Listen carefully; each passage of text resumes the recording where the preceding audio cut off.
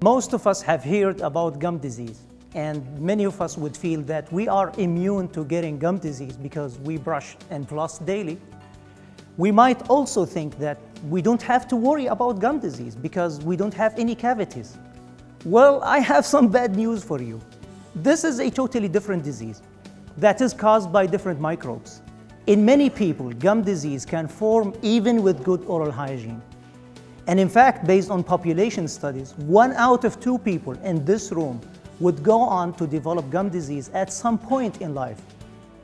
Gum disease starts almost undetected. It doesn't hurt. And over time, it leads to bleeding gums. And when the bone surrounding our teeth starts to erode away, our teeth get loose and will ultimately fall out without treatment. Once we develop severe gum disease, it can't be cured, only controlled. And the reason this is so, because we still don't understand why some people get it and others don't. Most of us know that the bacteria live in our mouths, which is the reason why we brush our teeth every day. But there is one kind of bacteria that sticks to our teeth and grows down into the gums. As it grows, it releases chemicals that degrade the protein fibers that keep our teeth attached to the bone. Normally, when bacteria invade tissues like this, our immune system recognizes the invaders and kills them. The invaders get recognized by special white blood cell called dendritic cell, which takes up the bacteria and alerts the immune system to danger so that our immune system can mount an attack. Unfortunately, this doesn't happen properly for gum bacteria, and we still don't understand why.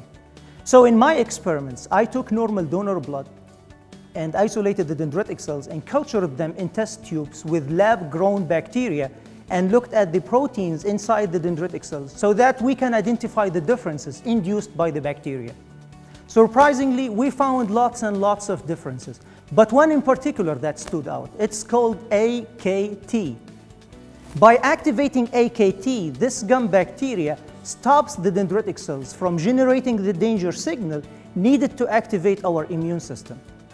I believe that my research will not only provide better understanding on how this gum bacteria stops the danger signal or blocks the danger signal, but also help future research to look for how to interfere with the signaling pathways activated by the bacteria and ultimately to stop the disease in the future. Thank you.